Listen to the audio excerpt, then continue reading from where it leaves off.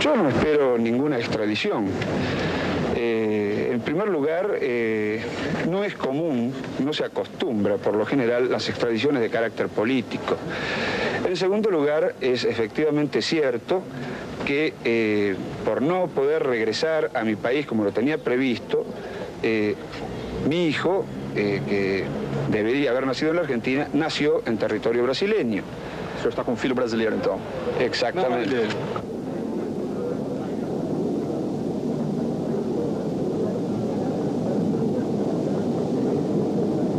Thank